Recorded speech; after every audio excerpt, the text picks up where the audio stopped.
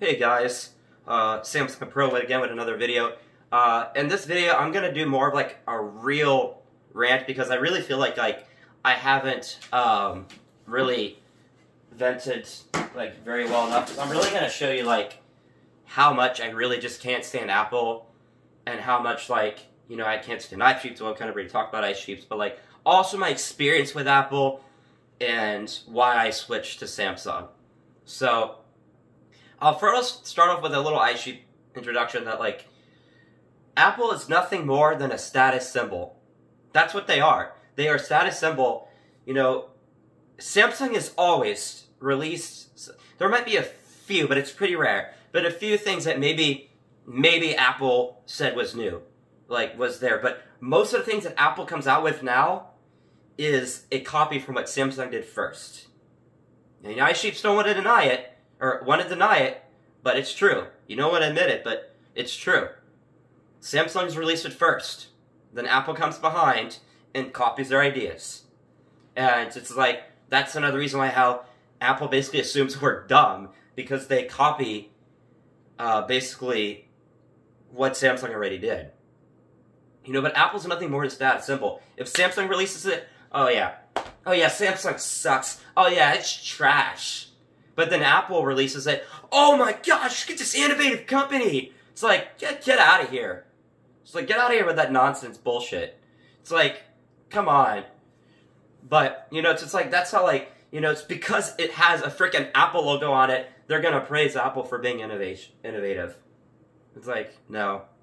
So that's just like no introduction. So, I'm gonna talk about one major thing. I'll first, I'll now get into like one of my major experiences with Apple, and what finally drew the line. I'm like, ah, I've had enough of this garbage. So, this will be regarding an iPad Mini that I owned, an iPad Mini 2. So, I think this was like three years ago, if I remember correctly. It was a while ago, but basically, uh, the issue was I would plug my headphones into the headphone jack, and it would trigger Siri. And sometimes it would trigger when I plug it in. Other times it would just happen on its own. I'd be having the right the device propped up, watching YouTube, randomly just happens. You know, it basically out of my control. So that was really pissing me off. I'm like, this I, I can't stand this. So I go to the Apple store. This issue involved three visits, none of which were satisfying. And every single one of those visits, Apple basically treated me horribly and didn't give a damn. So I'll start off with the first visit. The first visit, I go in there, and this is basically what happens with almost every visit when you go to the Apple store. I go in there, I give them my information, I open up a ticket. Basically, so what's crazy about this, I think part of the reason why also just kind of Apple's just system is just garbage is because my iPad was almost, it wasn't there. I remember it was like, I think it was like a month before. It was crazy that it was almost at the end of the year for the uh, one year warranty, but it was a month from expiring. But I opened the ticket before the month, and I even did research to make sure once you open a ticket, as long as you opened it before the expiration, they fix it. Um, so, you know, that's basically so I opened it before before. So I opened it, and I kept it open during these three visits, and these three visits were a span of like like two two to four weeks, if I remember. It was like five years ago, so it's it's kind of vague, but I do remember the very specific parts that I want you guys to know about. So I go to the Apple Store, and they basically do what you what you expected in the Apple Store. Oh yeah, have you backed it up? Yeah, yeah. Oh yeah, I backed it up. Okay. Uh, have you done a, a update on software? Oh, yes, I have. So basically what they did was they plugged my device in to one of their MacBooks, to the stores, and they basically did a factory re reset. So basically wipes the device, it's like new. I set it up, they said, okay, come back. If it still happens, we'll see what we can do for you. Okay, that's fine. I said, and I was like, oh yeah, we the, the guy basically told me, oh yeah, we'll write it down in our notes. We will come back, or come back if it still happens. We have it in our notes, so if you come back, you could see that we did this. Okay, fine. I go home, still does it. I go back, second time, and I tell them, oh yeah, I was here recently, I recorded, a, or not recorded, I'm getting the recording video. Uh, I come back and I say, oh yeah, the I uh, basically was here a couple days ago or a week ago, if I remember correctly. I can't remember which one. It was pretty recent. Uh, and they basically say, oh yeah, uh, we have to see it in person, or we have we have to see it. I'm like, not not personally. I'm getting to that. But they, they said we have to see it. I'm like, okay, but I was just here. Like, okay. It's like, well, did, can you are you able to see in the notes that I was there? Oh yeah, we don't have anything. I'm like, were you kidding me? I was here a couple days ago or a week ago, and they wrote it down. Oh yeah, we have to go by what our system says. Disregard the customer, even though I told him I was there. Okay, that's fine, I guess. So he was like, okay, record a video and come back. Because I explained, he said that after I explained to him that it just happens randomly. I can't control it. I cannot make the issue happen whenever I want to. It happens on its own. It's like, okay, record a video. Okay, fine. I go back the third time with a video, and he tells me, oh yeah, we gotta see it in person. I'm like, are you freaking kidding me? You guys told me that I could record a video because I can't control the dang, the dang problem, and now you're telling me, oh yeah, we gotta see it in person. And I said, I want to speak to a manager right now. I said, I've had enough of this. And like the manager comes in and is like, okay, uh, what's the problem? Oh yeah, I tell him, oh yeah, uh, I came in three times. They didn't write down when I previous came. They're not. I'm having an issue where I plug my headphones into the headphone jack and it triggers Siri. I'm like, oh well, do you do you like gaming? I'm like, yeah. Why? I'm like, oh, you should you should upgrade to one of the new iPads. I'm like, no, I I just want to uh, get this fixed. Well, come on, man. You know, I know the iPad Mini's kind of old. And it's like you you need to know. I'm like, no, I'd, I'd like to get it fixed. And like, well, come on. And, and he just kept pushing and pushing and pushing to a point where I almost, I kind of did snap on him. I'll tell you in a minute what I said to him. But he just kept pushing. And I told him, I said, no, I want my issue fixed. And he's like, well, sorry, we, uh, we can help you. He told me that after I told him I don't want to buy a new one. He said, oh, well, I'm sorry, we can't help you. And he just walked away. I'm like, are you effing kidding me? You guys are gonna just, it's like, that was awful. It's like, they just, and, and my device was under warranty. That was a hardware problem. And I've been taking, I've been babying that iPad, never dropped it, never broke the screen, and they're gonna say this crap to me. It's like, like you, you don't matter. Like, come on, let's switch to the Samsung side of things. I had a similar problem. I bought a, not a similar problem. I bought a, a Galaxy S10, you know, and I switched to the Notes. Gave my S10 to a friend. I love the Note. Uh, but uh, for a while, I had the S10, and when I bought it out of the box, the battery I noticed was draining really quickly. Uh, and it was obviously under warranty because I just bought it. And uh, Samsung says, "Oh yeah, okay, we'll, we'll fix it for you. Uh, send us send the device in, and we'll, replace the battery." Okay, that's fine. They replaced it to me for free. I even had another problem with a with a uh, what was it? With a S8. This was two three years ago when I when I first switched, and I'll talk. I'll get to what my experience of switching, but when I had when I got an S8, uh, I was paying for T-Mobile's because that's my carrier. T-Mobile's phone insurance, and I dropped it, and they had to basically, uh, how basically replace it. This was before I realized that T-Mobile's insurance company is a scam. They were sending me up to five, uh, five different devices that were defective. T-Mobile obviously doesn't know how to replace. One of them had a defective screen. One of them button was broken. One of them was not charging. It's like constant issues. I never had a perfect device from T-Mobile. The reason why I sent my device out to T-Mobile, it was an unlocked S8, was because I dropped it. Uh, I regret that. I should have sent it to Samsung, but I didn't. Uh, and you know what Samsung did for me? Even after they knew I dropped it, they said, "Oh yeah, we'll we'll replace it for it for free." They did not charge me anything, and they gave me a new device. Could you ever see Apple doing that for their customers? Could you ever see Apple, even after dropping it? You know, Samsung didn't have to, but they did. I'm just showing like how amazing Samsung treats their customers compared to Apple. Apple doesn't give a damn about their customers unless it involves them getting more money in their pocket. Um, you know, it's just like it's just these things. It's like I was so freaking irritated. You know, I'm like I'm, when when when the Apple Store uh, manager just walked away and didn't help me. I got rid of that device. I threw it away because I'm like, this is horrible. And I switched, and I, this was, you know, I then switched to Samsung. Like, I've had enough of this. I switched, And I'm like, wow, and like I, I got to know I'm like, this is amazing. You know, obviously people say that, oh yes, Android's hard to use because you've never used an Android phone before. You're obviously going from two different operating systems, so of course it's gonna be different. But I adjusted to it real fast, and man, I never want to go back. But getting onto my rant now. I've experienced it firsthand how Apple treats their customers, obviously, after sharing that with you. They treated me horribly. Samsung has treated customers right. It's crazy because iSheeps don't listen to anything that anybody says. Even if there's hard evidence in their face, and I know I kind of said this already. But it's like, it's like, how do I even, how do I even say this? I don't even know where to start. It's like, oh yeah, Samsung do, Samsung doesn't matter. Samsung's trash. Oh yeah, Apple's the best. Even when I could show you, because one of the things I was recently talking to somebody, somebody was uh, basically replying on my YouTube channel, telling me, "Oh yeah, Samsung's trash," and I sent him a video, or not a video of uh, a photo of guess who makes Apple's screens? Samsung. Obviously, they don't want to respond. It's just like it's just what I can't stand is Apple knows that they're controlling people. They use such crazy terms like liquid retina with the XR to basically cover up the fact that they can't innovate. And you know what's funny?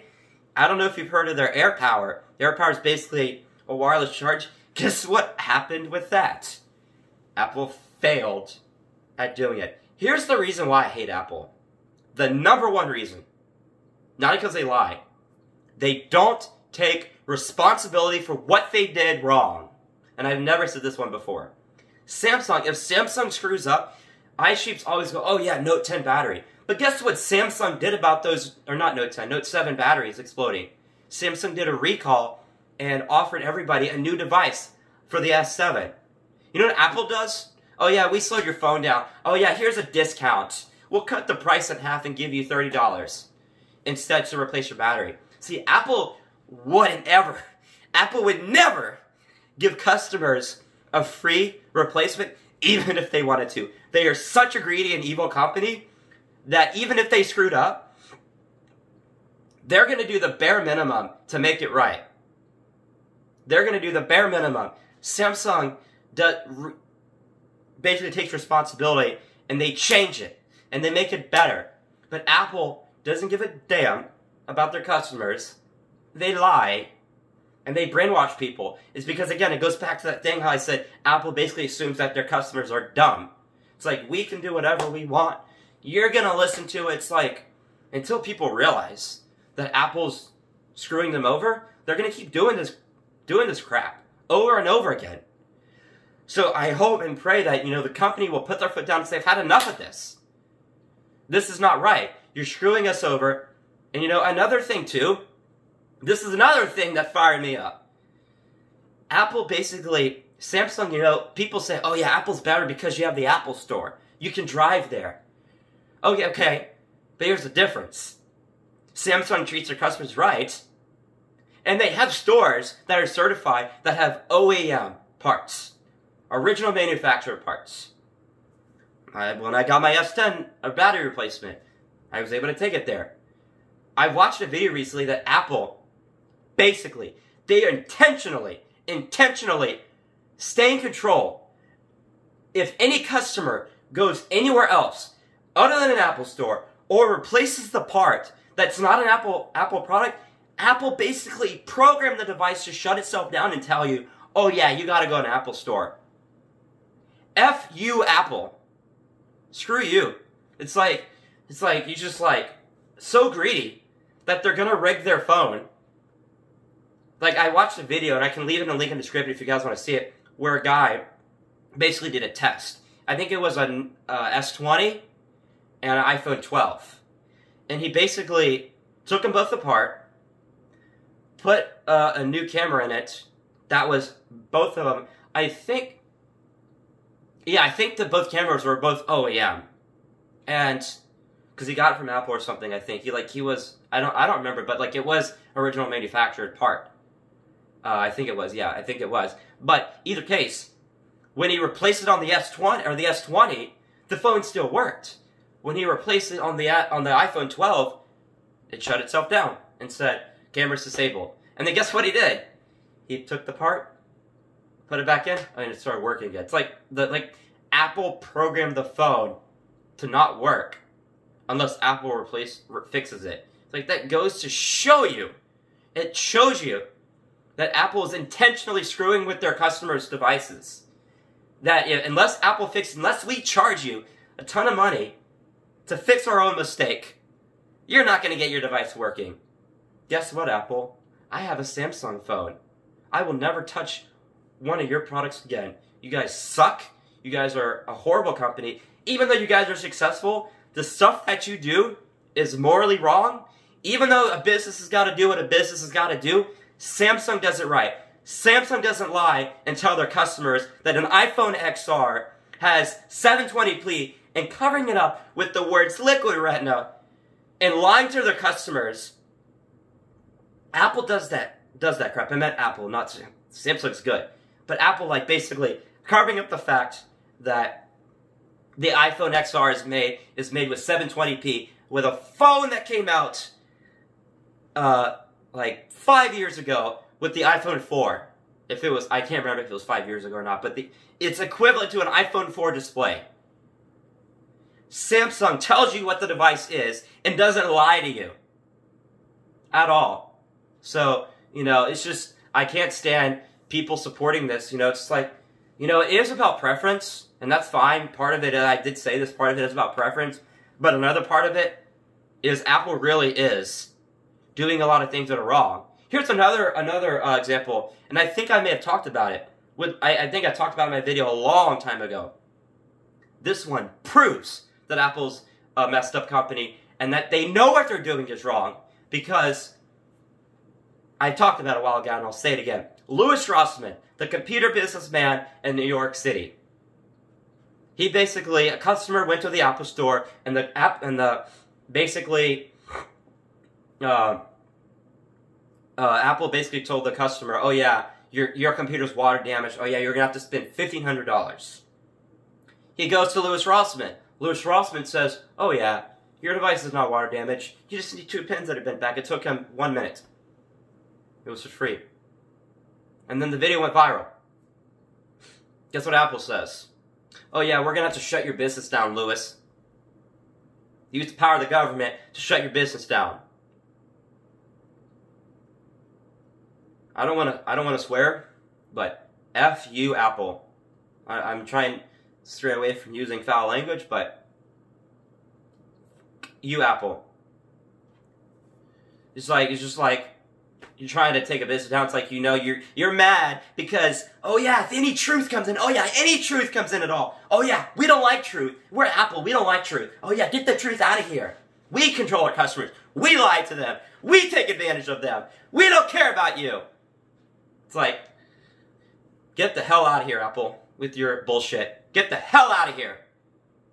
So, you know, I think I've vented to my heart's content. You know, it's just, you know, people are going to continue to support Apple. Yes, maybe they do. Yes, some parts are preference. But another part is Apple doesn't want to admit the truth. They screw their customers. What they're doing is wrong. And, and, I, and I will say, yes, maybe they're not the only company. There probably are a lot of other companies out there that are also evil too. But as terms of Apple goes, people defending it, people saying, oh yeah, they're right, you're wrong. That's just morally wrong. Hopefully one day people will realize that what Apple's doing is wrong and people will change. Because Apple basically has such a stronghold on the general public and they continue to manipulate customers and they're going to lie to customers and continue to treat them like shit. And people don't realize it. Again, it's like that friend that keeps manipulating you and lying to you, and until you admit you're being lied to, they're just going to keep screwing with you. You know, and again, iSheeps are going to come in this video and be like, oh yeah, you're just overreacting. Oh yeah, Apple's better. I know you guys are going to say some stupid comments like that. And like I said before, I'm just going to ignore you. I'm not going to listen to it because you guys want to continue living your live in your little world and you want to continue to support Apple's bullshit. Go right ahead. But I, I, as for me goes, I don't support a company that treats their customers like that. Not only do they lie, assume their customers are dumb, by telling customers, oh yeah, we make an innovative phone. Oh yeah, our phones are the same. They're not. At all. So, thanks guys for watching. Uh, you know, I, I, I also, you know, maybe it is a little crazy. Maybe I'm a little overboard with this, but like, I, I feel like not enough people really are aware of the truth. A lot of people don't uh, basically admit that they're being screwed with, or people don't realize it. So hopefully, this video will bring people's attention what Apple's really doing, because many, many people out there, the truth gets gets hidden. Apple, if any truth of any sorts, Apple sees, they take it down and try to sue sue somebody, even though what they're doing is wrong. So, thanks guys for watching.